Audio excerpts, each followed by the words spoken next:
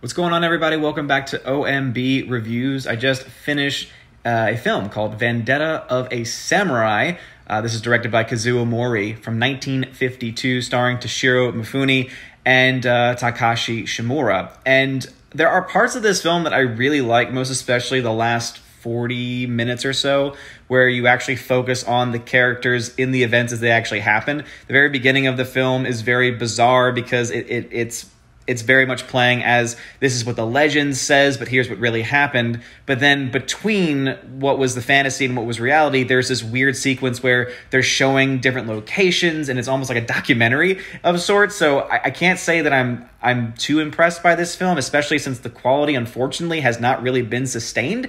Um, but yeah, Toshiro Mifune is great in the film, but I honestly uh, I can't say it's one of my favorites. So I'm gonna go ahead and give this film probably a, a B minus.